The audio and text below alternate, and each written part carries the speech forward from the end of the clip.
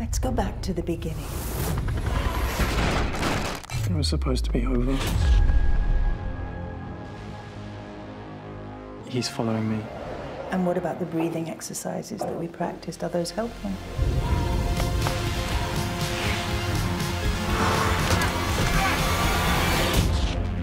You said your dad was writing a book about Damian Cray and the feathered serpent. We're gonna change the world.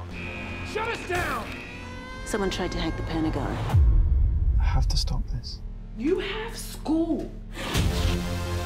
People are in danger, and if that means having to do the department's job for them, then that's what I have to do. This is my game. Nobody beats me.